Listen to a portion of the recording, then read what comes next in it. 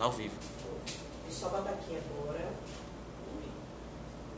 Gente, é, boa noite. Dani Andrade aqui pelo blog da Dilma.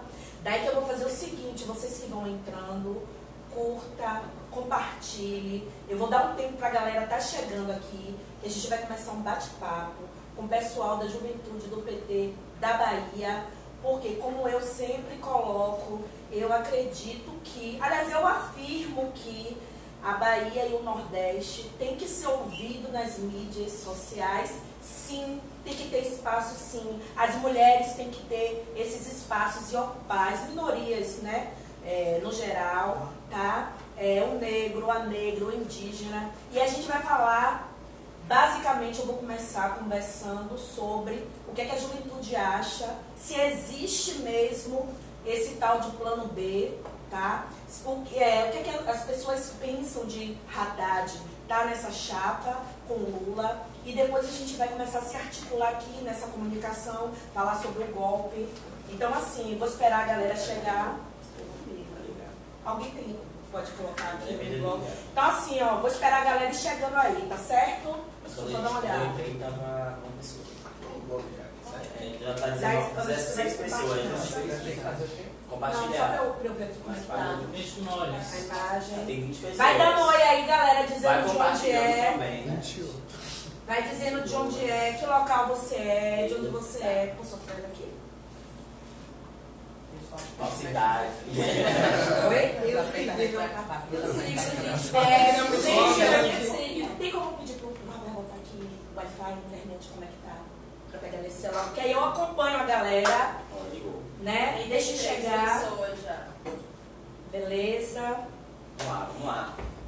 Daí a gente vai começar essa live e eu não poderia estar conversando com a juventude sem estar oferecendo um lanche. Pega um lanche aí pra gente, Anderson, por favor. A gente vai lanchar. Garçom! Garçom, vai bater um aqui. Vai fazer um lanchinho. E vocês vão vão compartilhando. Detalhe, o meu celular tem que estar conectado também, viu amigo, no carregador, porque senão ele acaba a bateria. Então tem que ter também, tinha uma extensão que ligava esse celular, eu sou ótima. Mas é bom que o povo já me conhece, já me acompanha. Daí a gente vai lanchar aqui. Falta o refrigerante, Anderson. Traz aí o refrigerante. Altas referências. Não, tá aqui, ó, amigo. Tá aqui, ó, nessa extensão aqui. Agora o cabo tá por aí, é um cabo branco. Tá vendo esse negocinho preto aí? Falta um fio. Isso, falta um fio branco. Aqui, o um fio branco no chão. Aqui. Você pra mim? Tá, Eu tá sou ótima. Aqui, amigo. Ele vai conectar, se tiver ajeitar, se tiver lanchar, a gente vai conversar. Enquanto isso, vocês estão compartilhando. E eu vou falar aqui, eu estou diretamente no comitê do governador Rui Costa, tá? É, ele vai ser reeleito aqui na Bahia, ele está já reeleito aqui na Bahia, então a gente está aqui nesse comitê e eu estou aqui com a juventude do PT, tá? Tá. Então vamos lá, eu vou começar aqui, tá, galera? Então, eu já vou começar o um papo. Eu quero que as pessoas aqui comecem se apresentando, tá? Nome, idade e assim, se veio parar no PT, tá? Começa daqui, vai lá. É, meu nome é Bruna, Bruna Bittencourt. É, eu tenho 18 anos, ainda sou secundarista, acabando, graças a Deus, a Deus terceirão. É, e eu vim parar aqui pelo movimento estudantil, que atualmente eu estou presidindo, que é a AGES, a Associação de Grêmios Estudantis de Salvador. Obrigada, Anderson. Você é Ele é maravilhoso. É, agora você, amiga, fala aí. Olá, meu nome é Júlia Cunha, tenho 19 anos, sou secundarista, é, presidenta da União Estadual dos Estudantes da Bahia. É, como eu cheguei no PT? Através de um, de um grande amigo, que foi me apresentou ao movimento estudantil e também me apresentou ao Partido dos Trabalhadores. Eu sou Caju Almeida, eu sou segunda diretora de Universidades Públicas da UNE, coordenadora geral do DCE da UNEB e coordenadora estadual da Arte Jovem LGBT, tenho 27 anos e entrei no PT pelo movimento estudantil da UNEB também, da minha universidade. Que bom que eu vim da UNEB. Né? a UNEB orgulha gente. Tá? Fala, amigo. Então, eu sou Ícaro Jorge, sou daqui de Salvador. da diretoria da Juventude do PT de Salvador, do Coletivo Ousar, atual coordenador de Direitos Humanos do DCE da UFBA. Eu entrei pelo PT muito por minha mãe, né? Minha mãe foi fundadora da 20 Zonal daqui de Salvador, do PT, é, militante histórica. E aí, desde pequeno, minha mãe me levava para os espaços para estar tá, é, acompanhando ela nas agendas, nas atividades. E foi muito isso, né? Melhor referência para entrar no Partido dos Trabalhadores é entrar no partido com sua família, com sua mãe. E é isso aí. Você, amigo? É, meu nome é Vinícius Calmon. Atualmente eu sou diretor da UBS, a União Brasileira de Estudantes Secundaristas. É, eu conheci, na verdade, eu falo que o movimento estudantil não me trouxe para o PT, né? O PT ele me trouxe para o movimento estudantil. É, eu nasci em Valença, no interior da Bahia, e eu fui o primeiro presidente da entidade municipal de lá. É, foi, acho que senador, deputado jovem lá em Brasília, num projeto que tinha na época do governo Lula. E assim, eu já nasci meio que lá na confusão dos debates, de ler a e sentir nojinho, então pra mim, tá no PT, tá no espaço da juventude do PT, tá em casa falando do que eu gosto, como se fosse um bom jogador de futebol comentando a rodada do final Você é amiga. Gente, quando falarem, dá pra público, que o público tá ligado, gente. Vai lá. Então, boa noite, galera. Meu nome é Débora Nepomuceno, eu sou diretora de cultura na, na AGES e também a Associação de Estudantes Secundaristas de Salvador e também sou é, diretora de combate ao racismo da UES, União Estadual dos Estudantes. E eu entrei para o PT pela militância dentro do movimento estudantil, porque eu é, embora seja muito bacana a militância do movimento estudantil, é, eu tinha a, a sensação de que estava faltando alguma coisa, de que eu precisava que o movimento estudantil era bom, mas ainda não era o suficiente, ainda não estava abrangendo tudo que eu precisava, tudo que eu precisava e tudo que eu precisava enfim. Então lá eu vou começar botando fogo no cabaré mesmo, tá?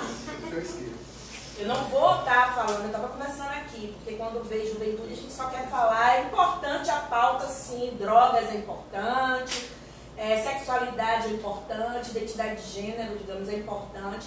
Mas eu quero começar ouvindo da juventude, eu ainda não vi, ouvir, o que, é que a juventude pensa sobre falarem que está havendo um plano B no PT. Agora não tem esse negócio de você, você. Vamos falando aí, que a gente está sentado conversando. Mete pau. Eita. Quem vai falar?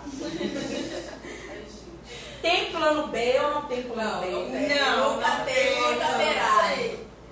Não sabe? Não, não, não sei opinar. É, eu acho que é uma questão muito, eu não sei dizer se burocrática é incorreto, porque tem toda uma questão de como é que o, o, que o partido vai se posicionar, quais são as possibilidades. Lula é candidato, é candidato. Candidato do peito, acho que de todo mundo que é do PT do Brasil é impossível alguém não pensar em Lula para presidente do Brasil. Agora, e a questão jurídica, a questão burocrática de lei, como é que fica? Acho que por isso muitas pessoas levantam o debate do plano B. Para mim, não tem plano B. Eu acho que o nosso plano é a nossa chapa, né? O Brasil Feliz, o único plano do PT de fato é isso é o projeto da gente, é o que a gente representa e é essa sensação de ter o Brasil feliz de novo. Eu acho que não existe plano B, que o plano do PT é eleger a nossa chapa e fazer o Brasil feliz de novo mesmo. Eu acredito que o Lula ele não é um indivíduo, né? O Lula é um projeto que todos os militantes do PT construíram com muita garra, muita luta. Plano C, voltou? Essa, Caiu mesmo. Essa discussão entre plano, plano A, plano B, plano C é muito uma perspectiva neoliberal de individualismo, né? Que coloca o político ou o gestor que está naquele espaço, ocupando um espaço de poder, pode ser o presidente, o governador, enfim, como uma pessoa e não um projeto. E quando a gente fala que quer o Brasil feliz de novo, a gente defende um projeto. E Lula é esse projeto. Né? Quem vai estar tá encabeçando esse projeto, nós não sabemos. É um golpe de Estado, onde o judiciário, onde a mídia, onde as diversas é, classes dominantes da sociedade não querem o nosso presidente de volta. Não pelas coisas ruins, mas pelas coisas boas que ele fez. Então acho que a gente deve manter o nosso plano L, que é o nosso projeto Lula. E o projeto Lula está em cada um de nós aqui. Todos nós aqui somos Lula, como ele mesmo disse. Né? Como, é, como ele disse, eu acho que Lula, como o Ricardo falou de forma sensacional. E o próprio Lula também falou né, naquele discurso histórico no ABC. Hoje, todos nós somos ideia, né? Todos nós carregamos um Lula e eu acho que o exercício de todos nós de dialogar com a sociedade, quando sempre vem aquela pergunta, mas Lula é candidato? E acho que a resposta mais sincera que vem é de fato, Lula é o candidato, Lula é o nosso candidato. Não só o candidato, mas acho que Lula hoje, é, assim, depois de percorrer tão pouco em comparação com o que ele percorreu, né? Mas depois de ouvir um pouco de cada pessoa, de cada canto diferente, que passou por perrengue, assim, independente de qual foi, Lula não é só o nome, Lula não é só uma ideia, Lula na verdade é a esperança de uma vida melhor para todo mundo, principalmente do Nordeste, né? Que surge da margem da sociedade, depois de anos e anos esquecidos, é, explorados, indo para o Sudeste construir as cidades. É, e de 2002 para cá a gente consegue vir ocupando as universidades, a gente consegue vir, por exemplo, hoje ter estadistas como o próprio Wagner, que é nosso candidato a senador aqui no estado, que são nomes assim que eles cogitam né, para ser plano B, mas para nós é, eu acho que é nesse momento, até em respeito a tudo que Lula construiu, é inadmissível acharmos que temos um plano B. É o plano L e o nosso candidato, de fato, além de Lula, é o nosso plano de governo. É o modo petista que deu certo e o modo petista que pode botar o Brasil de volta nos trilhos para a gente ter o Brasil novo. Tá, mas daí tem mídias alternativas que e pessoas falando muito também nas redes sociais de um plano maligno, né? Inclusive que estão dizendo aí que estão envenenando o, o ex-presidente Lula e que o Haddad, no caso, ele, ele seja também um golpista, né? Ele quer estar à frente do Lula. E o que é que vocês, se vocês estão lendo, vocês estão acompanhando essas, esse debate que está tendo, que inclusive quem está à frente disso é o Duplo Expresso também, né? tá rolando aí, o cabaré tá pegando fogo. Eu quero saber se vocês estão acompanhando, o que, é que vocês acham disso? Olha, é, eu não acompanhei, mas agora que você falou isso, eu consigo pensar é uma coisa bem simples. As pessoas têm dificuldade para reconhecer quais são os golpes no Brasil, né? Porque quando Dilma sofreu o golpe, é, foi toda aquela briga, ah, não foi golpe, não foi golpe, ela realmente deveria cair. Poxa, vamos olhar um pouco a situação. Aí agora me dizer que Haddad está querendo dar um golpe no Lula, é um pouco complicado isso aí, né? A gente termina vivendo em uma situação de conformismo social, de uma certa forma. Sabe? Porque durante todo aquele processo do golpe que Dilma sofreu, tava todo mundo, ah, o país está uma droga, o país está uma droga, o PT precisa sair porque a culpa é do PT. PT saiu por um golpe que foi, ai, achei muito digno, muito lindo aquilo, passando na televisão, dizendo bem pleníssimo que não foi, que ela não estava participando das pedaladas. É, e assim, as coisas só fizeram piorar.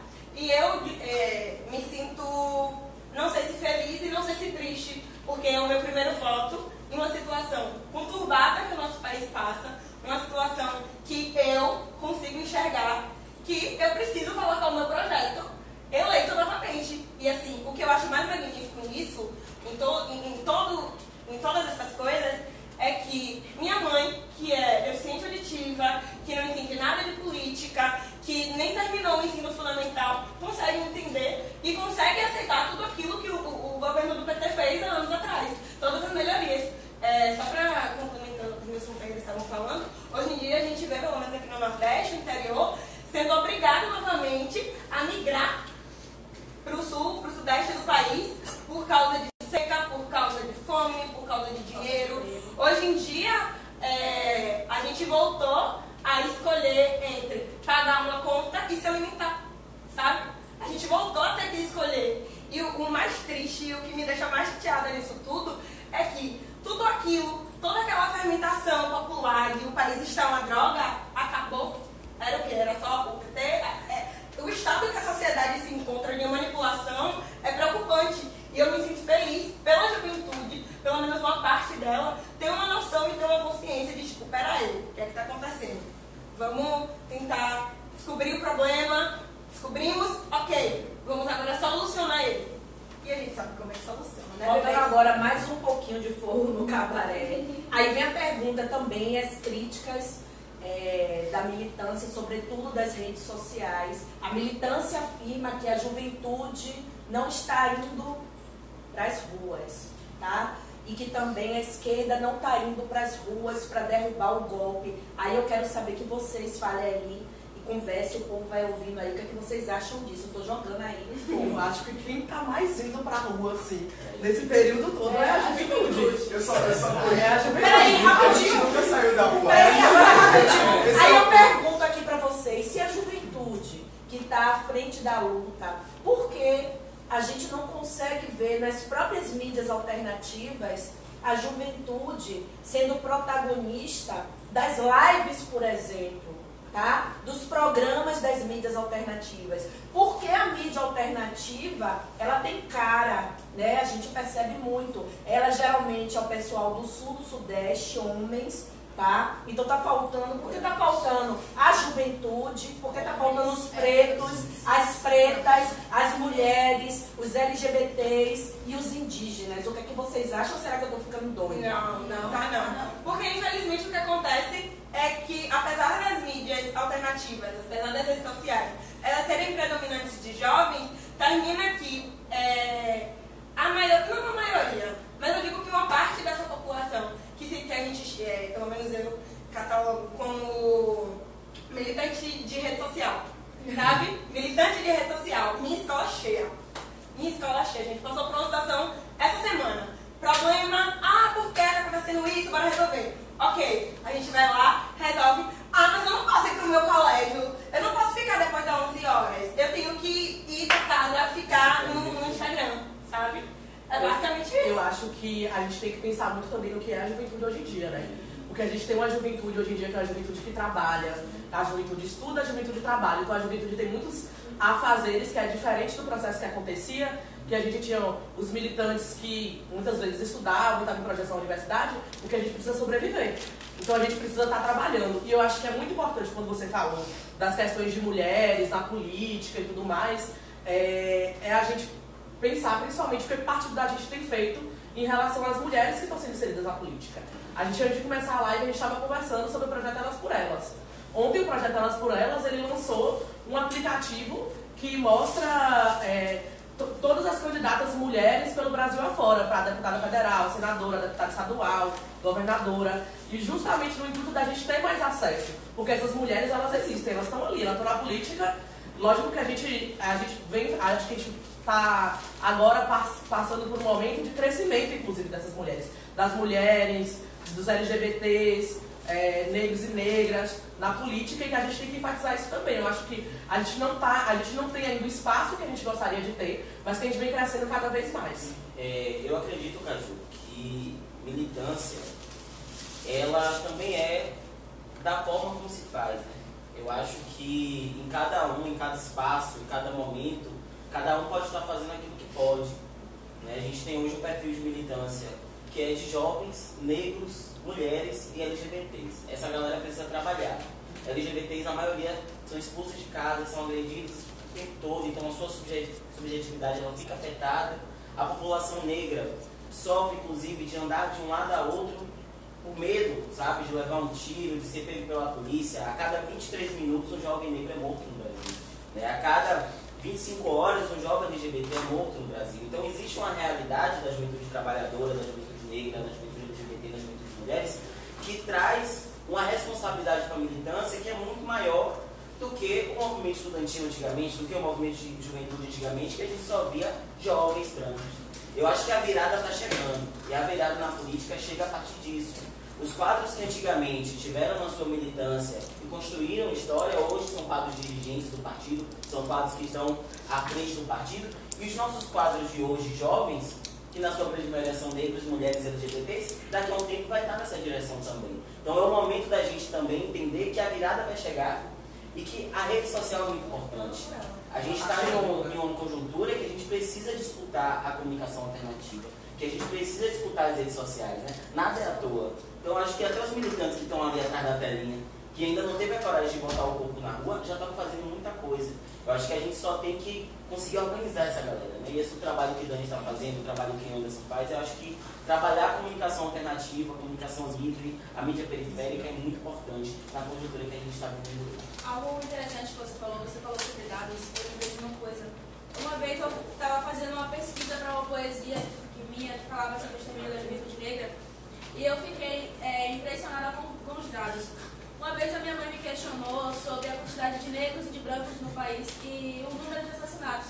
Eu fui pesquisar com essa coisinha minha. Somos, os negros são 54% da população brasileira e ao mesmo tempo são 71% dos homicídios no Brasil. Então é um número que não bate, sabe? E muitas pessoas ainda insistem em dizer que quando o negro fala da, do extermínio da juventude negra, do extermínio do nosso povo negro, é vitimismo. É vitimismo porque não existe, porque morre negro e morre branco. Mas e o número de brancos e o número de negros que morrem? Qual é a diferença? Só pra botar mais, também botar fogo e também, porque é bom a gente refletir. Tá eu tô comendo Se coxinha. o negro, Coxinha. você acha negro, você falou, você levantou essa estatística, ele é a maioria, tá? E é, por que então, se o negro, a negra é a maioria, a gente não consegue ver essa maioria representada e falando nas mídias alternativas? Porque já é padrão. É um padrão existente que se, que se repercute há anos. É, tanto que há, há séculos. Tanto que recentemente uma marca de, de perfumaria apresentou fez uma, de perfumes, fez uma propaganda usando uma família negra e isso no Brasil virou de ponta cabeça, porque o desculpa, mas os brancos não se sentiram representados pela propaganda. Só que isso é algo que nos rodeia como negros há séculos, isso sempre ocorreu.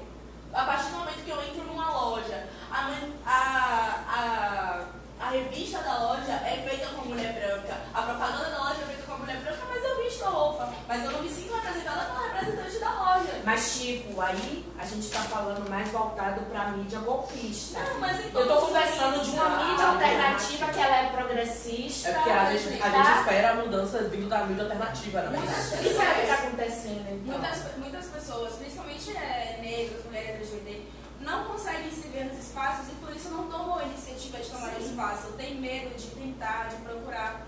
Por ver sempre branco, por ver sempre homem, hétero, cis, é, é aquela coisa, eu não me sinto representado. Então, se eu não, se não me represento, eu também não tenho espaço lá. Então, no caso, você está querendo dizer que as mídias alternativas não conseguem falar pelas minorias? Seria isso? Em sua Porque falando de maioria, representatividade, né? Em sua Eu maioria, acredito que as mídias alternativas a gente vem, eu acho que segue nesse, nesse mesma, nessa mesma linha do que eu falei dos espaços da política. Eu acho que a mídia alternativa, a gente vem crescendo dentro da mídia alternativa também. Eu acho que a gente vem crescendo dentro das, das mídias alternativas. A gente tem, é, você, por exemplo, está aqui, né, uma mulher de mídia alternativa. A gente estava conversando sobre isso, sobre essa questão dos espaços. Eu acho que a gente tem que entrar nessa política de enfrentamento em todos os espaços mesmo. E eu acho que, que dentro das mídias alternativas a gente vem conseguindo crescer sim. A gente já vê muitos, ma- muito mais youtubers LGBTs, é, mulheres, negras, a gente não fica mais naquela mesmice das, das. Quando era mulher, a mulher branca ali falando, debatendo, a gente já vê várias blogueiras, a gente tem exemplo de várias blogueiras, por exemplo, hoje em dia, que são mulheres negras. Mas aí eu venho também com essa estatística que quando eu estava em São Paulo até, é, a gente reuniu né, o, o pessoal, os blogueiros e blogueiras, e a discussão é, é, a rede social que mais tem alcance é o Facebook. A gente está falando mais de YouTube, que não tem um alcance tão grande, uma dimensão, quanto o Facebook, tem mídias alternativas que são grandes mesmo, que o alcance é um alcance de você conseguir reduzir o, o- o- a, a- a é, visibilidade de uma mídia golpista, para você ter uma ideia, né? Então é isso que eu estou querendo falar na, na frente das redes sociais, que seriam o YouTube, é, Facebook e Instagram. Depois veio o Instagram. Até mais do que o Twitter. É isso que eu tô. Porque essas mídias grandes, o que é que você vê? Essas mídias grandes. E não é tipo assim, a pessoa fazer um vídeo em casa, beleza, tô falando nas mídias grandes, trazer essas pessoas para falarem de política do seu ponto de vista, trazer as minorias, porque eu vou colocar aqui de mim, porque é uma coisa que eu coloco nas minhas outras redes sociais, e a galera já sabe como eu funciono e como eu sou. Eu sendo nordestina, tá? Sendo da Bahia, eu não me vejo representada na maioria das mídias alternativas compostas, sobretudo por homens brancos do sul e do sudeste. Eu acho que a maioria das mídias alternativas falam de política, mas com a visão política daquelas duas regiões. Esquece o norte, esquece o nordeste, esquece o centro-oeste. Aqui é, chega de estarem falando de política e das nossas demandas pela gente. A gente precisa entrar. Como foi que eu entrei? As pessoas que, que me seguem sabem que eu entrei no grito mesmo. Eu vou entrar, eu vou ficar e acabou. E a gente precisa de um pouco mais disso. Assim como a minha, eu questiono, cadê os jovens? Eu vejo jovens por trás das câmeras também, ou jovens da classe média brancos e brancas do sul e do sudeste à frente das mídias alternativas. Mas eu quero saber, cadê a juventude da periferia tendo vez e tendo voz? É isso assim, só para botar um pouco mesmo um pouco no cabaré, para depois a gente entrar com uma página tá cheia de bolsominha, a gente começar a falar do Bolsonaro também, que é Então, falar. você não acha que essa questão das mídias da, dos, dos negros, dos LGBTs, não estarem assim dentro, da, dentro da, das redes sociais mesmo? Mais por uma questão de acesso à internet, E no material, sentido né? material, de Não. acesso à internet, de que- qualidade de internet. Ah, Não, acho que seja por isso. A eu tenho uma amiga que é jornalista em Goiás e ela estava falando que 80% dos jovens em Goiás, dos jovens da periferia de Goiás, não tem acesso à internet de qualidade. Eu acho assim, é difícil. Eu acredito que influencia. Eu, eu vejo diferente, eu vejo que hoje tem crescido sim o acesso da internet, que a gente vê desde da tia do tio do cafezinho até o doutor que não tem doutorado branco, ele tem um acesso a um, a um celular, a um plano de internet. Né? Isso aí. Abrangeu muito.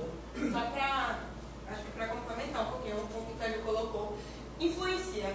Porque se a gente for colocar em uma balança um- uma classe média ou até uma classe alta, que o pai tem condição de comprar uma boa câmera, que ela tem uma boa internet, uma boa iluminação uma boa produção, aí você vai pegar eu. Amiga, pare, porque o meu celular é fuleiro, não é nem um iPhone. Mas olha só, mas a questão dos planos de internet também É, não são que acessíveis. a real, Não a são real não é nem a acessíveis. questão só da pessoa protagonizar e pegar a câmera e estar ali na frente. A real é, por exemplo, a ideia de não só a mídia ser alternativa nomenclaturamente falando, né? Mas a mídia ser alternativa é dialogar com as coisas alternativas de fato.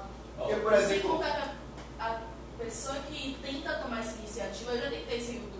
Só que é muito mais fácil, pelo menos o que aconteceu comigo foi eu recebi muitos comentários, ah, mas cabelo. Você sofre muito mais com preconceito do que com incentivo.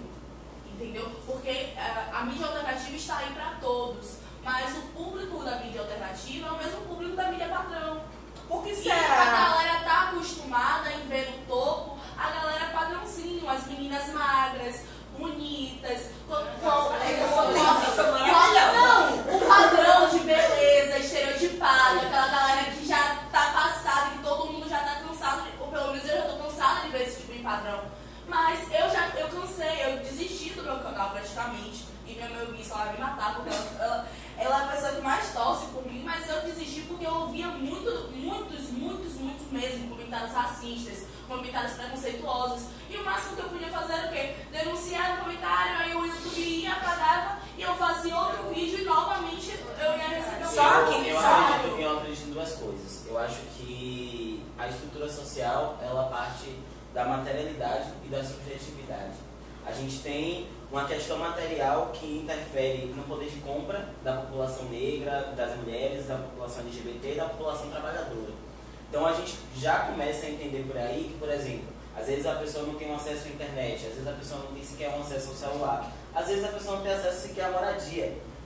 Então o que é que a gente, a gente entende esse ponto? E tem um ponto subjetivo, que é o quê? Nós não, não, costumamos, não, não costumamos nos ver, portanto a gente termina não Verdade. produzindo aquilo para nós estarmos. Esse é o. Eu, eu iniciei um canal no YouTube, o Ocupa Preto surgiu pelo canal no YouTube em 2015. E a gente começou a bombar, passa várias, várias galeras se inscrevendo, comentando.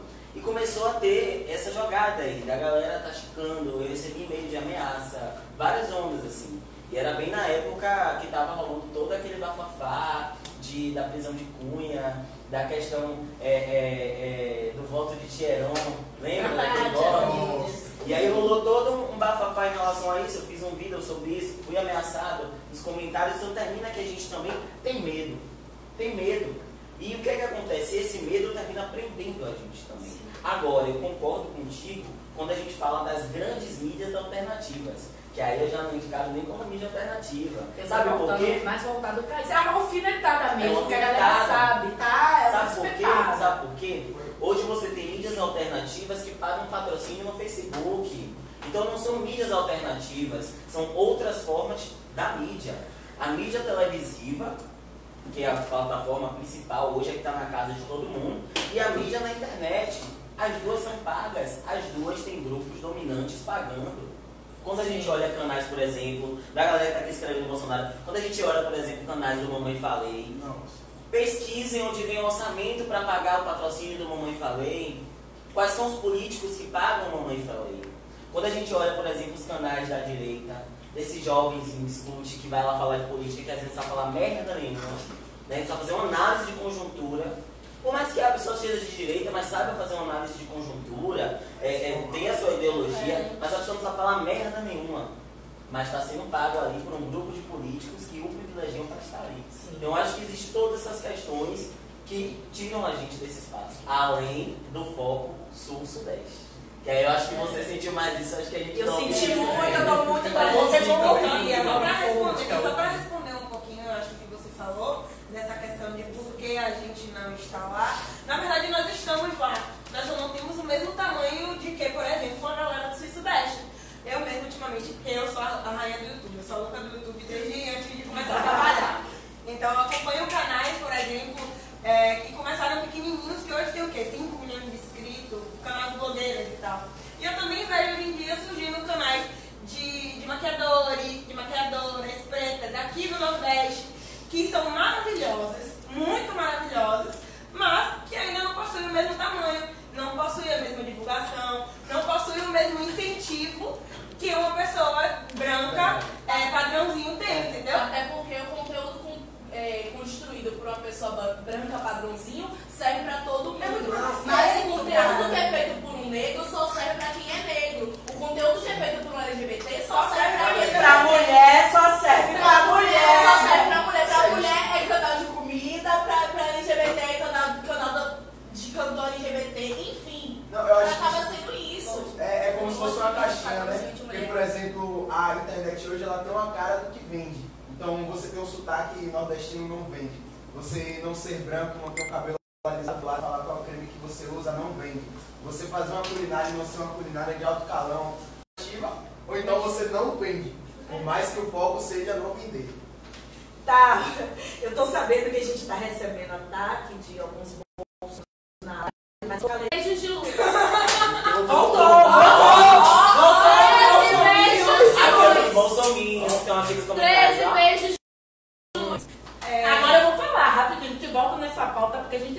homenagear os bolsominions que parece que são a maioria. Não, eles, eles Rapidinho, uma coisa que eu vou outra mesa. Lula livre, só pra deixar claro. Eles amam acompanhar a gente, né? Agora a gente vai questionar Olha, gente, coisa linda. Bolsonaro no último debate.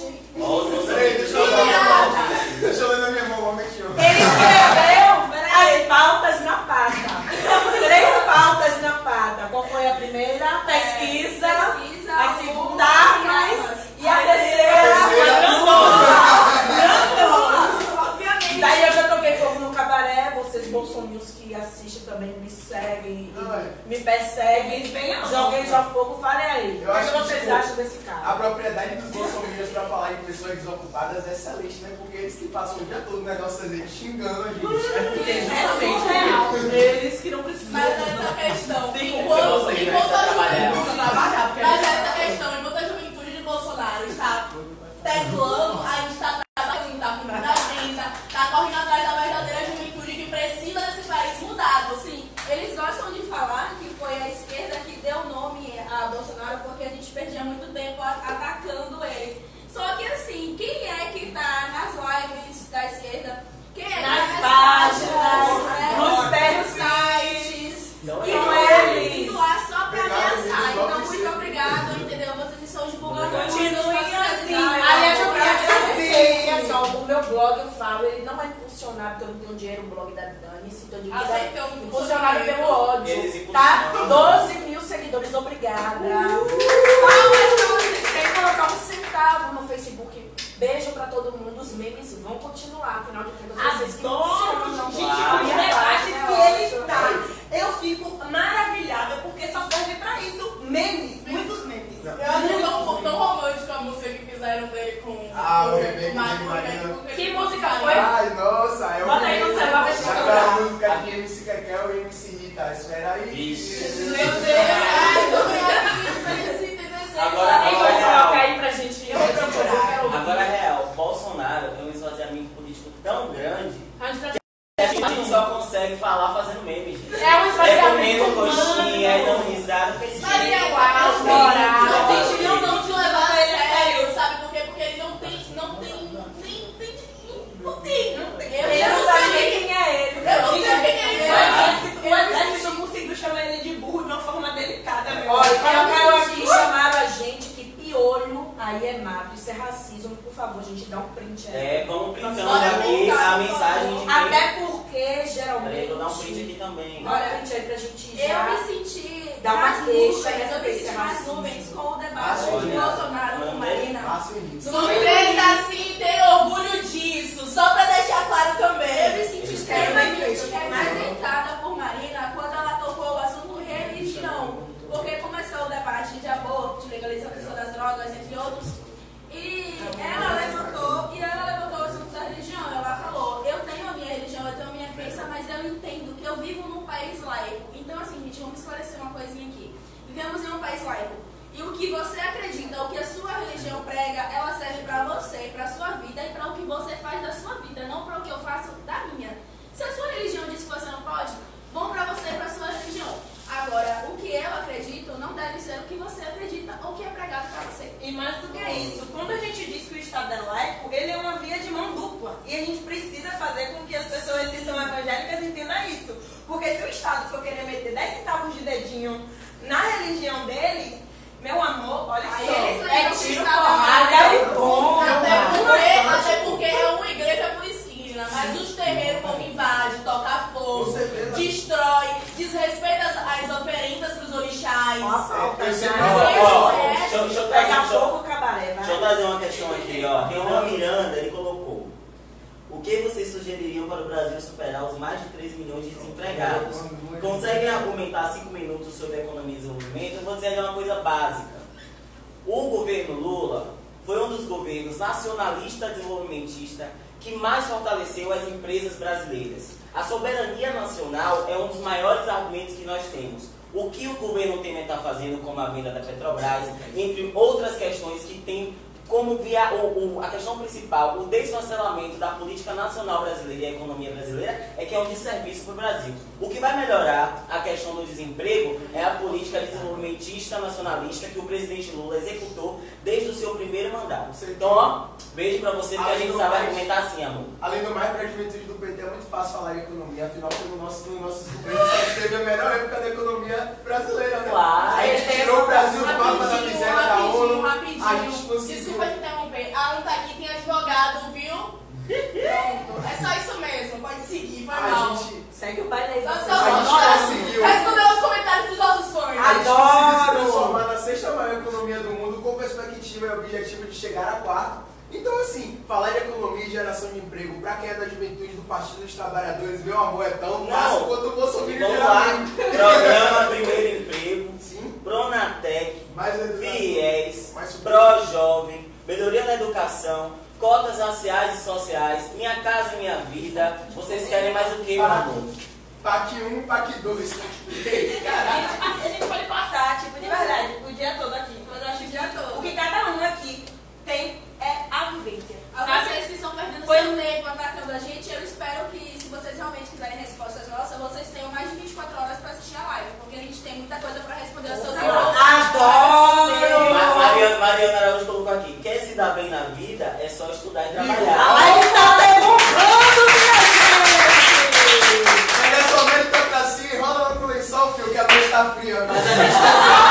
Peraí, a live tá bombando, peraí, só um intervalo. E como colocar Caramba, aí, você tem dedo. uma música aí, por favor, do, do PT, do Lula, pra gente cantar aqui. Ai, Ó, eu tenho um digo de Costa. Deixa, deixa pra Mas a outra. galera nacional, nacional. Nacional.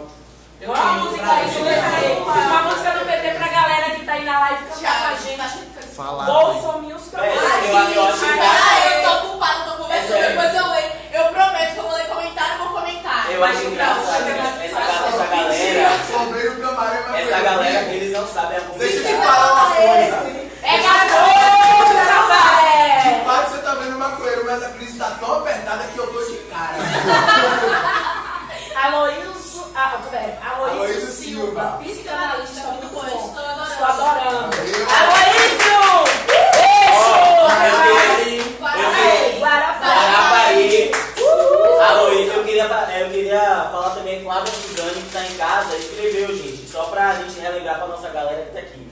Quando Luiz Inácio assumiu o governo em janeiro de 2003, a Bahia contava com um milhão, tre- enfim, um milhão postos de trabalho. Em 2016, quando Dilma sofreu o golpe, esse número já havia subido para cerca de 2 milhões. Isso significa um aumento de 74,35% nas vagas de trabalho formal no Estado no período de 2003 a 2016. Então, assim, meu amor, esse foi o governo Lula e o governo Dilma, aquele que mais teve trabalho formal e emprego para o nosso povo. Agora, com o governo Temer, depois do golpe de vocês aí, Ninguém sabe. é que tá? É o que? É o, o, é o jingle dele, né? Tem como aumentar mais aí? Máximo. Olha, Aquela estrela que não vai me apagar. não se apaga,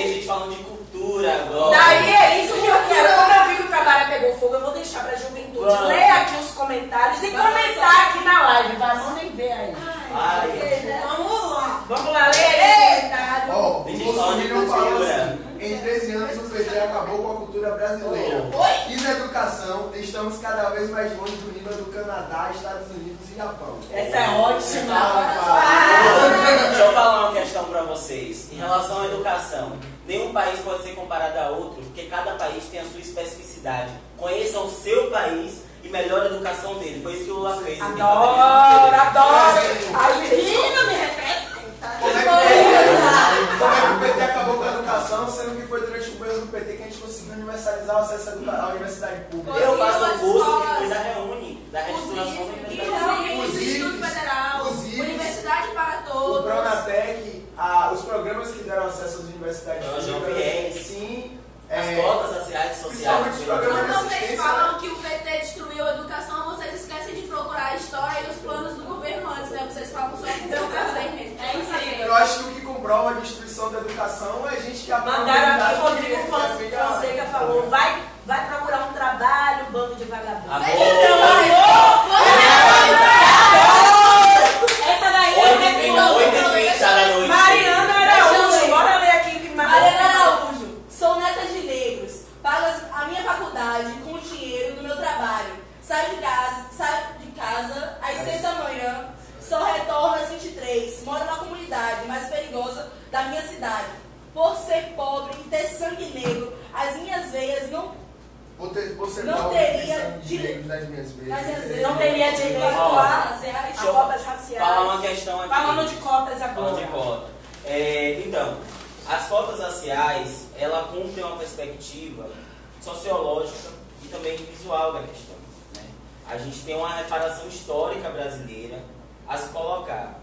Assim, Mariana, é, o IBGE ele faz análise a partir da autodeclaração. E, entendendo essa realidade, a gente tem uma massa de pessoas né, que são negras, pessoas que são pardas, segundo o IBGE, né? Eu não concordo muito com o termo parto, mas segundo o IBGE o termo parto existe. Então, vamos falar dessa questão mais jurídica, né? Porque é a única pergunta que ela fez. Se você se encaixa dentro dessas, dentro dessas determinantes, você pode ter direito a cotas raciais, sem problema. Se você não se encaixa, aí vai depender muito do que você acha aí enquanto pessoa, se você se enxerga enquanto negra e se você realmente é negra, né? Porque a gente passa um, um, as causas nas cotas raciais dentro das universidades está sendo um problema que está tomando uma proporção muito grande. Então a gente precisa ter essa análise. Aqui o racismo no Brasil, ele não é somente biológico, ele é social, ele está na estrutura social do país e é muito mais pelo aquilo do fenótipo, aquilo que você vê. Não é ninguém vê sangue, a gente vê rosto, a gente vê cor. Como é que mais? Eu vou botar nos comentários. Olha só. Rapidinho, rapidinho, deixa eu só falar, comentar um pouquinho também sobre isso. Tem uma frase que eu, eu- que eu ando dizendo que é o seguinte: você precisa estudar o passado para entender o para mudar o futuro. Por isso que eu adoro história e sociologia, porque quando a gente vai ver, o Brasil ela tem dívidas históricas que a gente sofre até hoje que muitas vezes a gente não consegue entender. Como, por exemplo, por que, por incrível que pareça, a maioria é a população negra que precisa trabalhar, estudar, ficar o dia todo fora, se manter, ralar, e ainda assim ter dificuldade de entrar na universidade, sabe? É, é, é, um- é questão histórica. Eu quero ver os comentários. Ah, é, Olha só. Eu dei risada no que você estava falando, não. Eu sei. Nos gente, o Thiago está perguntando aqui para a juventude ele gostaria de saber o que vocês vão fazer quando o Bolsonaro for eleito presidente. Alguém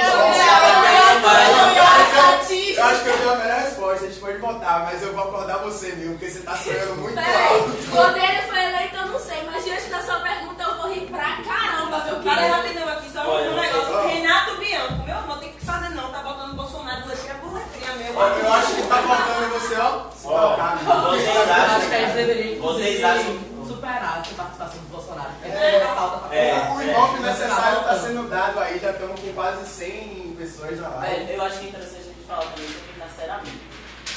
Acho que é uma pauta boa Mas antes de encarceramento, Tem tem uma pauta aqui muito, muito legal que é o, o Fábio Júnior colocou aqui. Qual a opinião de vocês sobre a migração? Só um minutinho, cadê? Sumiu aqui. Ai, Fábio. Júnior ele quer saber sobre a migração da Venezuela. Cadê? Perdi aqui. Qual é Achei a aqui, ó. aqui de vocês sobre a migração da Venezuela aqui no Brasil? E vocês apoiam Maduro? Se vocês apoiam Lula, sabe como o governo petista foi o que financiou Maduro? Pega fogo o cabaré, joga aí. Assim, a Venezuela, eu acho que tá uma conjuntura que foi uma intervenção muito mais radical do que a gente sofreu, né? Porque lá também teve a tentativa do golpe parlamentar, só que Maduro resistiu. E o que se tem lá hoje é simplesmente a radicalização de ambos os lados. É a radicalização de quem quer defender o projeto de governo, não só de Maduro, mas o projeto de governo que mudou de fato a, a história dos venezuelanos. E infelizmente hoje, graças à mídia, as próprias pessoas da esquerda, da esquerda acabam perpetuando o discurso de que a Venezuela é, é uma ditadura e tal, mas se enganam bastante, porque nada além do que fizeram com Dilma foi o que tentaram fazer com Maduro, inclusive fundando um novo parlamento lá, é, durante a primeira eleição dele, né? Então assim, eu acho que o Brasil ele tem que estar de portas abertas, até porque a galera gosta muito de ser imigrante no país dos outros, mas não quer os imigrantes do próprio país, né? É, Renan Miranda aqui pergunta: vocês acham que o Estado tem mais poder que o indivíduo para combater o racismo? Eu acho que, que a questão do racismo no Brasil é uma questão estrutural, não é uma questão individual. Então, assim, no Brasil existe uma estrutura social interpelada pela economia, pela política e pelas relações subjetivas que interferem que o negro termina sendo subalterno nas relações sociais. Então a gente tem que pensar isso aí. Nada é individualizado aqui. Aqui tudo está na estrutura. Machismo, LGBTfobia e racismo. Adorei essa, gente. Felipe está perguntando se a gente tem uma segunda opção além do PT. Não, não, não, Não, não, não, não. No momento não tá tendo. Eu gostaria de agradecer a Flávia, Su- Flávia Suzane, que nos lembrou. O governo do PT criou a Secretaria Nacional de Juventude, o Conselho Nacional de Juventude, o Pró-Jovem, ah, o Estuda- o Estudante da Juventude e muitas outras coisas. Muito obrigada, gata. Fora toda a produção do PT em relação à agricultura familiar, pra galera que é do interior, porque a maioria dos bolsominions aqui parece que são da cidade, né, da metrópole, urbano. Lembra que tudo tem interior, tem Nossa. campo, Ó, a roça, a Tem um agricultura ser familiar tem que humano, estar na luta. tem um ser humano que é Alex Moura, ele falou, o regime militar salvou o nosso Brasil de uma ditadura comunista. Verdade. Por que será que os professores evitam ensinar isso? Eu acho que é porque os professores morreram, né? E os que estavam vivos, os que estão vivos, os que estão vivos ensinam história pra prevenir que a gente tenha céfalos como você. Adoro, adoro, E ainda bem adoro. que os Tem mais professores perguntas? estudaram, né? Tá bom. Esse, esse debate de ditadura militar é um pouco chata, porque a mesma galera que Rapidinho, fala essa, que os essa militares- parte aqui só, não existe racismo, seus mimizentos. A partir do momento que o segurança do Rafael Braga shopping tá preso. segue a mim e os meus amigos dentro do shopping, ele está sendo racista assim. Entendeu, companheiro? Rapaz, eu- e outra questão, você tem a minha estatística da mortandade da juventude negra? Então, amigo, se você quer me dizer que não tem racismo, vai estudar história. A questão da. que aquela fala da difícil de entender, sabe? Porque a mesma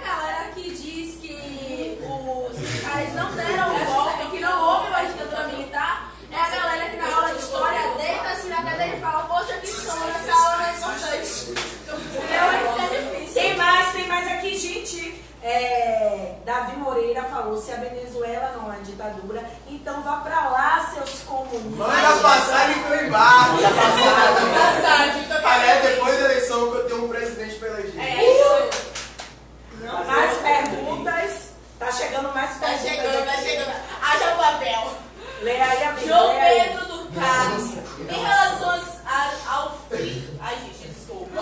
Ao fisiculturismo no Brasil. Ao fisiculturismo, peraí que o Bolsonaro quer saber o quê? Peraí. Ah, João Pedro fisiculturismo. Carmo, em relação ao fisiculturismo no Brasil, qual a visão atual do esporte? Nossa, nosso Então. foco, sinceramente, é tirar, é tirar o Brasil da fome de novo, né? Porque Então. rapidinho, o nosso foco é tirar o Brasil da fome de novo. Peraí,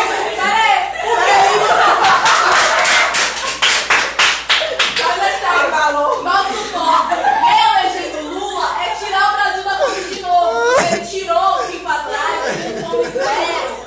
Só que acabou que a galera afundou nosso país de novo e não Não, e eu tenho, uma questão.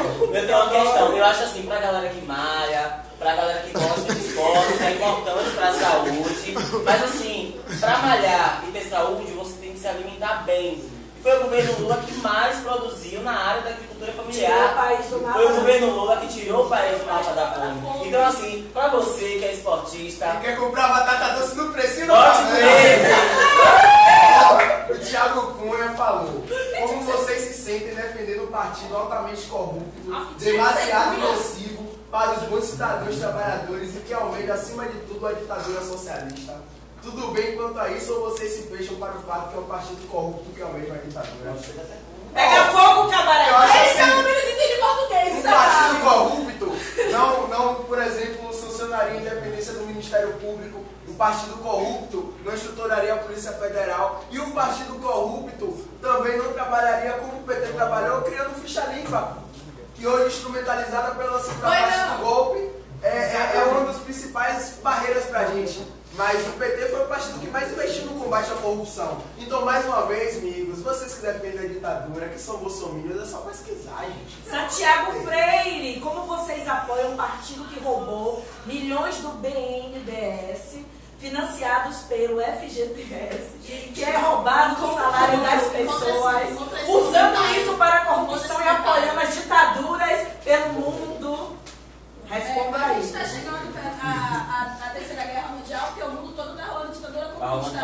É, É um vírus, é um vírus. É o vírus, tossi. Não existe mais zumbi, agora existe comunista. Falando nisso, depois a gente vai falar da USAL. Da USAL. É, é, tem uma aqui, tem uma Manda aí, manda aí, aqui, tem uma aqui que é boa. Eu acho que o Juan Diego tá mais ali. Ah. Enfim. Por Brancos favor. também Ai, é pobre. E muitos vez. também têm as mesmas dificuldades como os negros. Sim, Vocês não acham que é deveria existir cota para baixa renda ao invés de cota racial em si? Eu posso responder ela, Sim. João Fica à vontade. Eu vou responder essa como branca. Cara, olha só, eu tenho privilégios que as pessoas simplesmente por serem negras não têm, tá? Eu tenho vários privilégios. Inclusive eu carrego privilégios historicamente, tá? A minha condição financeira, a minha condição social, ela, ela foi desenhada de acordo com o, o fato histórico brasileiro. Então, assim, a gente não sofre tanto racismo por ser negro. É, eu vou dar um exemplo. Eu fui com uma amiga negra procurar um emprego e eu fiquei com uma vaga. Por que será? Porque a gente fez a mesma faculdade, a gente tinha o mesmo, igualzinho, mesma idade, Mesmo currículo. mesmo currículo. Eu fiquei com uma vaga. Por que será? Então, assim, a gente tem que repensar isso. Não, e só pra responder, melhor ainda, existem cotas sociais, tá? Pra Existe você sim, saber. a cota vai baixar a Aquele negócio do estudante de falar, pra não passar vergonha, É, de é, Deus. eu a pergunta agora de Santiago Freire. Se você usa gráficos de mortalidade negra como um argumento para o racismo, então pesquise quantos brancos morrem por dia também. Se a quantidade de brancos que vem a óbito por ano for maior que a dos negros, ou basicamente igual, o racismo contra os brancos também seria válido. É, vou falar algo aqui porque eu acho que você não escutou, porque eu falei a primeira vez, querido. Assim, é, atualmente no Brasil, a população negra é 54%, é 54% da população no Brasil, é a população negra. E a taxa de homicídios é de 71%. 54% de negros e 71% de negros sendo mortos. Então 29 são de brancos. 20, então É existe a estatística. E sem falar, né, que a conta que? É só 54 contábil. 54 71. Não, ainda tem Não, carceramento. sabe, sabe, grandão. Ainda tem não, cara, carceramento. Ainda tem uma piada que é engraçada, na realidade, que eles fazem e que a gente combate, que eles acham engraçado, mas que a gente combate, que é que preto ou tá na cadeia ou tá morto. E é isso que a gente tem que debater aqui. Ó, perguntaram aqui, e os gulags? Acho que se você não sabe, os gulags. Se você não sabe, acabou, porque se, ó, se rolasse ainda, todo mundo aqui que tá comentando merda já tava lá. E o quê? Os gulags, é, os locais que a galera das ditaduras comunistas assassinavam os discordantes. Ah, Juan tá agradecendo por responder, tá? É, Fábio tá dizendo, se isso ocorreu, amiga, você tem todo o direito de denunciar esse local. Renato tá dizendo um 777. É, melhor seria um 71, tá? É, Eu acho que, eu acho que Não foi fala isso não, que eles intencional. podem ter senador, um Né? É referência, meu bem. É referência. Porque meu senador é 130, VAG, né? Viu? É 131, né? VAG, né? 130, Aqui na Bahia. Olha, 130, eu está perguntando Eu aqui. Ó, eu está perguntando quem mata. Ele tá sugerindo Quem mata? Os negros matam negros. Não. botei fogo no cabaré. Eu botei fogo. Rapidinho, amigo, sabe polícia? Sabe polícia? É isso. PM. PM, polícia militar, seja qual estado, é quem tá matando a nossa juventude. E além da polícia. E Thiago se acaba de rir. que eu sou- E além da polícia. Thiago tá deixando. Ele, ele tá Ele tá atrás da câmera sorrindo de vocês. E além da polícia, eu vou repetir a mesma coisa de novo, vou tatuar na minha testa, porque eu não aguento mais. 54%. 54%. 71% sendo Ah, assassinados. eu acho que. Mas a população negra é só 54%. Mas o pro... Amiga, ó, é que é que Tem um dado. Negócio é matemática, eles não estão entendendo. Olha que eu sou de Não, humanas. e tem uma questão também, porque eles falam, eles estão falando quem é que mata. dano que ele resolve. Eles estão falando quem é que mata. É, mais eu acho cedo. que tá, tá sem. Peraí, Tá- rapidinho, tá eu sem, vou né? Dá uma Deu uma travadinha. Deu uma travada. Não, é Ó, é mas- dados, é É verdade. Mais cedo, mais cedo, tá alguém perguntou se o racismo era individualizado e a gente respondeu que o racismo é uma questão estrutural. Existe um Estado que corrobora para a morte dos jovens negros, que corrobora para o encarceramento do jovem negro. É por isso que 70% da população encarcerada no Brasil são pessoas negras.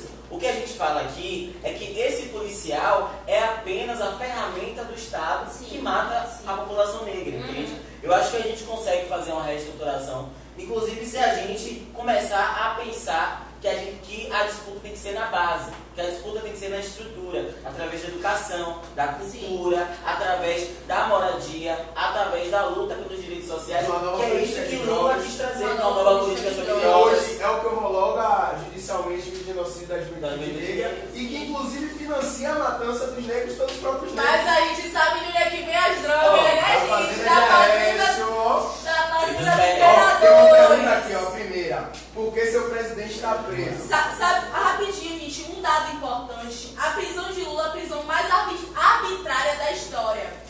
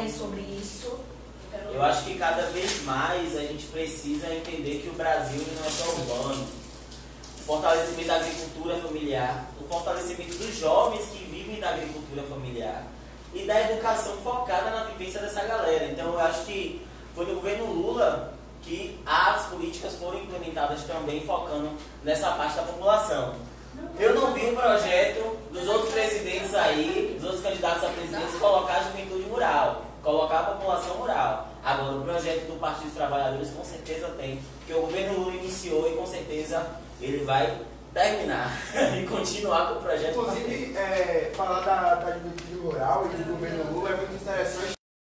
Foi no governo Lula que se criou as universidades públicas regionais, né? A gente tem hoje a UESB, a UESC, aqui na Bahia, mas uma perspectiva, por exemplo, de expansão dos campos dos estudos federais, por exemplo, foi no governo Lula que se iniciou a universalização do acesso ao ensino, tanto, público, é, tanto básico quanto superior. Né? Então, acho muito rural... Davi Moreira está falando, o debate só com petistas por que não convida alguém para debater de igual para igual? Pode vir, amor. Além de poder vir, eu vou abrir um espaço e vou dizer, eu vou fazer essa live pelo blog da Dilma toda sexta-feira. E assim, o que eu, eu vou priorizar a juventude, tá? Para que ela possa falar nesse espaço. Daí a próxima live eu convido aqui abertamente a juventude também. Organizada. Organizada. Eu tô imaginando Civilizada. Calma. Sem racismo. Sem LGBTfobia também. Sem machismo, principalmente. Porque pra gente é uma coisa pra sempre. Aí eu pergunto ao pessoal aqui: vocês topam? Claro. Claro. Adoro. Agora, agora é achar. Achando. Achar as meninas de mal sabe? Não, não. não quinta-feira, a partir das 20 horas, um debate Juventude do PT versus Juventude da direita, digamos assim. Juventude Bolsonaro, algo assim. É mas eles, eles dizem que eles precisam debater de igual para igual, minha amiga. Vou, vou, é, não, mas é bom estar no é bom estar somente, sabe? Porque é a gente sabe, a gente sabe dar pessoalmente. bolsominions, principalmente, a gente sabe que principalmente os bolsominions, por trás de teclados, por trás de telas, falam o que bem quer, entendem? Mas diante de uma mesa, em um diálogo amplo, ninguém, faz, ninguém vai falar metade do que, do que fala pela internet, a gente sabe disso. Próxima sexta-feira, gente, vai ser o debate Juventude Do do PT, PT versus. versus Juventude Juventude da da Direita, Direita. pessoal da Juventude da Direita, aqui de Salvador da Bahia, Organizada. se articule, tá? A ju... Agora, agora, peraí, peraí, peraí. Agora tem que ter um determinante. A juventude da direita tem que estar pelo menos no conselho de juventude. Porque não dá, né, gente? Tá ser debatendo, você tá construindo a política. Rapidinho, rapidinho. Olha então o Falcão aqui. Pedro quer o quê? O que, que Pedro quer? Ai, Apresente mas a carteira de trabalho. Ô, ô Pedro, Você quer o título? deixa eu te falar uma Que é o coisa. título você Deixa eu te falar uma coisa, gato. A gente Meu apresenta tá a carteira de trabalho pro RH. Você não é RH, não, gato. Fica aí. Olha então o Falcão Não, aqui, mas peraí, eu não tenho Pega carteira de trabalho, não. Eu tenho título Adoro. eleitoral, eu que precisa. Adoro! Olha Eu então, tenho gente, muito olha. doido. Olha então, Falcão. Quem já foi em uma casa de acolhimento de ex-drogados, Então, vai ter com certeza, vai ter certeza da proibição contra as drogas. Enfim, Se é proibição. Tá meio a leitura da sua É pergunta. melhor proibir que helicóptero sobrevoe carregado de É. É, porque cocaína. se for Tá? assim, a época vai que- vai quebrar viva já Agora, é. sério, gente, gente, eu não tô brincando não. Eu acho que a gente vai precisar de um leitor aqui. Porque eu tenho muita dificuldade de ler. Mas deixa eu falar, real. Vai, meu Cadu! Eu vou falar uma coisa real, assim. As casas de acolhimento, as casas de acolhimento não representam a política que nós, enquanto juventude, defendemos. Uma política muito mais relacionada à redução de danos, à defesa da saúde da população usuária de droga. E é a partir disso que a gente consegue entender uma nova política de drogas. Eu acho que a gente tem que pautar a política sobre drogas através da saúde, da segurança pública e da educação. Não só a proibição. Proibição não dá nada não. Resolve, sabe por quê? Porque proibido já é. Não, tem, não faz sentido falar sobre pro- proibição. E assim, é, e é principalmente saúde pública, porque quando a gente fala de uma pessoa que é dependente da química, ela não pode ser tratada como se ela estivesse ali porque ela quer, porque ela gosta, porque ela se amarra, Nossa. tá lá. Gente, sabe? ó, Camargo segura. falou que vai mandar o Kim Kataguiri, o Fernando Holiday e o Arthur do MPL. Pode vir. Pode vir. assim, é, a- aqui a gente percebe a diferença. Mas aqui na Bahia não tem MBL não, a gente não deixa. E a gente tem construção de base. Sabe por quê? Sabe por quê? É, rolou um diretor, assim, que, é- que foi do MPL e tal. Ele foi exonerado. Não sei o que, que aconteceu. Ó. Eu, sinceramente, Adoro! Perguntaram, Não sei. perguntaram se Lula Não vai ser sei. candidato preso, não foi? Eu quero ler só a carta de Lula ao povo brasileiro. E é. vocês, bolsominions da direita, acho importante vocês lerem, aprender como é que se faz política, que é muito interessante. Carta de Lula ao povo brasileiro. Registrei a minha candidatura à presidência da República após meu nome ter sido aprovado na convenção do PT, com a certeza de que posso fazer muito para tirar o Brasil de uma das piores crises da história. Quero que o povo brasileiro possa decidir se me dará a oportunidade de, junto com ele, consertar este país. Cada um de vocês terá que ser Lula fazendo campanha pelo Brasil. Lembrando, lembrando ao povo brasileiro que nos governos do PT, o povo trabalhador teve mais emprego, mais salários e melhores condições de vida. Que o nordestino que mora no sul podia visitar sua família de avião e não somente de ônibus. Que um pobre, um negro, um inglês na universidade. Que o pobre podia ter casa própria e comer três vezes ao dia. Que a luz elé- elétrica era acessível a todos. Que o salário mínimo foi aumentado sem causar inflação. Para recuperar o direito de fazer tudo isso e muito mais, é que sou candidato à presidência da República.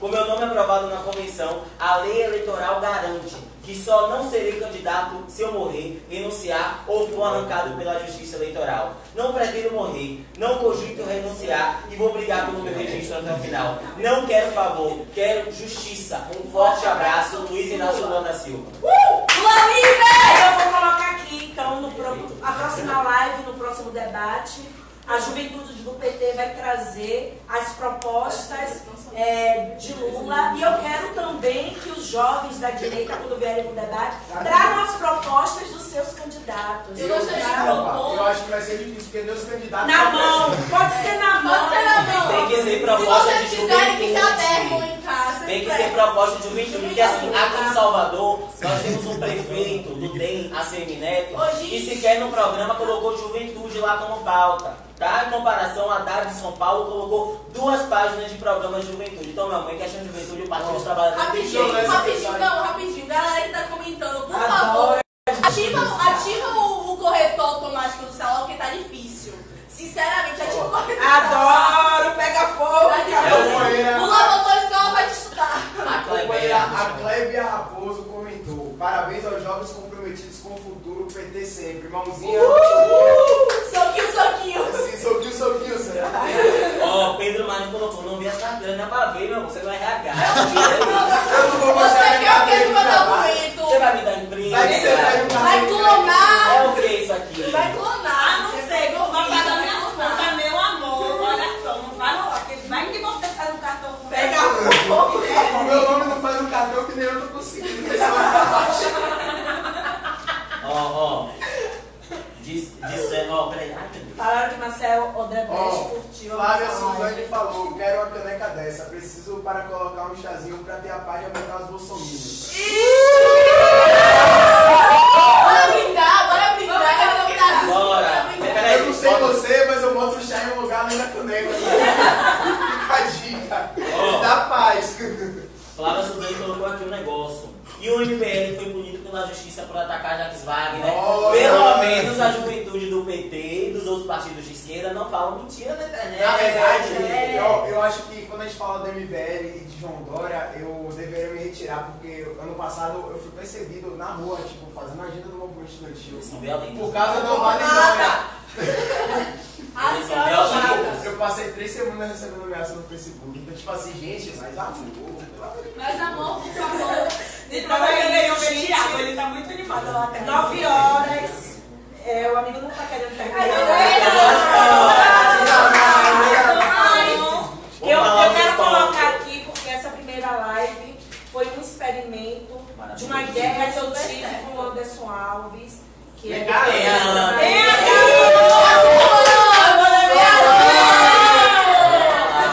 Tá? Então, assim, a ideia deu na primeira live e a gente fez pouca divulgação, deu super certo. Então, ela vai permanecer no blog da Dilma toda sexta-feira.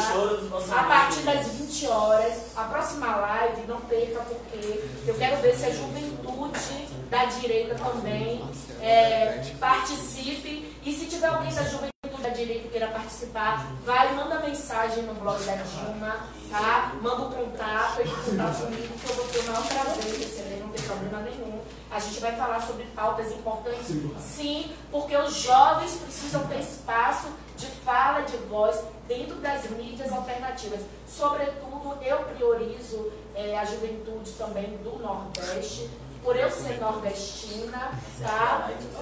Vai ser aqui. Posso mandar Adoro. al- alguns abraços? Pode mandar. Mas já vai terminar? À vontade. Façam isso. Eu quero mandar um abraço pra galera lá de Valença, da minha cidade, do interior. Amo vocês. Quero mandar um abraço pra minha mãe, que não fala comigo, mas vai votar no PT. Quero mandar um abraço pra meu grande companheiro de vida e caminhada, de Cima Brito. Quero mandar um abraço pra Fernanda Reis, do Colégio Manuel Novaes. Pra toda a galera lá do Grêmio da minha escola, porque eu sou estudante. Salve, Texas. Quero mandar um abraço pra galera lá do comitê do deputado Valmir Assunção, Rafaela, Gustavo. Eita, pau. Não falei o número porque senão eu ia falar do meu. Quero mandar um abraço pra galera do comitê do deputado José do Ramos também. Pra galera aí de Dona Martinha, nossa vereadora combativa. Pronto, Pro amigo, comitê tá de todos os é muita gente. né? Alguém mais quer mandar Eu abraço? eu quero mandar um abraço Quero mandar beijo pra. Preto, pra Rafaela que tá em casa, pra Jefferson, pra Amanda Cunha, mandar um abraço pro meu filho Peregrino também que tá em casa, Maria Del Carmo que também tá em casa, e pra todo o comitê, de todo mundo aqui que a juventude volta pra Agora eu quero que venha também pro lado de cá o pessoal que estava Por trás das câmeras.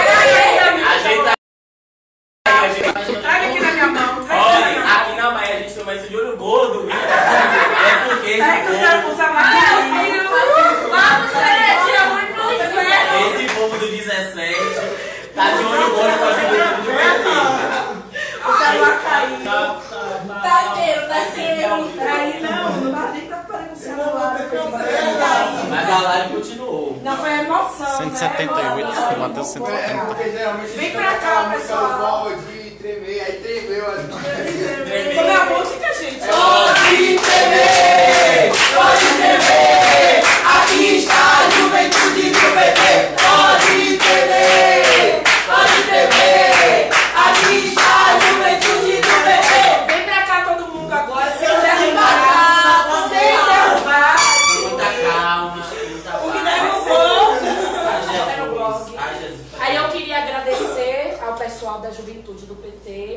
Pessoal que estava aqui no, no debate, ao pessoal que estava no apoio atrás das câmeras. A gente vai continuar com, com, com essas lives toda sexta-feira. E aí eu pretendo até ceder esse espaço, porque eu fico pouco na Bahia e Salvador.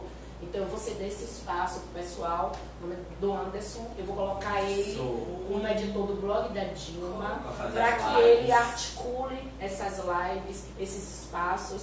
É um início de uma porta de entrada para que jovens também do Nordeste, sim, tem que ter sim, para que mulheres negras tenham espaço, sim, para que a juventude negra tenha espaço, sim, tá? E eu queria agradecer a todo mundo, é, independente do partido, independente de, de quem vote. E obrigada, é isso, vocês, fiquem à vontade aí. Inclusive a se vocês, bolsominions, que deram quantas pessoas aí? Que funcionaram, né? Funcionaram, ó. Lula 13, Rui 13, Wagner Wagner 130. 130, Wagner 130.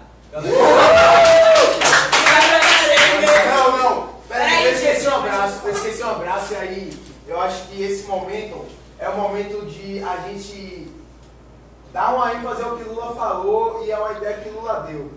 É, teve uma companheira que mandou um direct no Instagram aqui, companheira Jéssica, que é da juventude do PSD. E eu acho assim que aqui no estado a gente tem uma conjuntura à parte e tudo que se enrolou aqui durante esse processo pré-eleitoral deve ser esquecido. A gente tem que dar as mãos à galera que está disposta a construir a política agora, daqui para frente, e construir esses quatro anos também. Tá bom? Então, para além Tá de bom, 130, gente. é 555. E aí, Rapidinho. Eu só queria dar, dar- apresentar a estatística Adoro. atualizada Adoro. a respeito da candidatura de Lula. Lula ocupa o primeiro lugar com 39%. O candidato Jair Bolsonaro ocupa, de- é, ocupa o segundo lugar com 19%. A candidata Marina Silva do- é, ocupa 8% da rede. É, o candidato Alckmin, 6%. E o candidato Ciro ocupa o último lugar no ranking com 5%. Triste, Fonte. mentira. Da, peraí, tem que botar- a fonte. Fonte. Datafolha.